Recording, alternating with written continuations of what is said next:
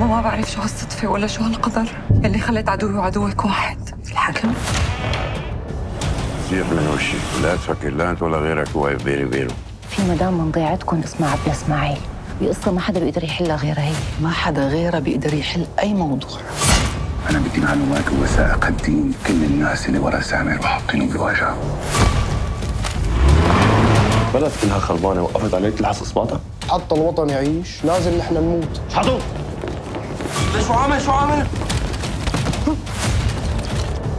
لك رح تقتلني شبك رح أقتلك وطالع روحك اذا ما باخذ حقي على آخر فرنك ولك. يلي مثل الحكم ما فيك تخلص منه بسهولة. أنا بوعدك أنك رح تشوف الحكم مكسور. بس انتظر أيام سودة وسنوات أمر من العلقة.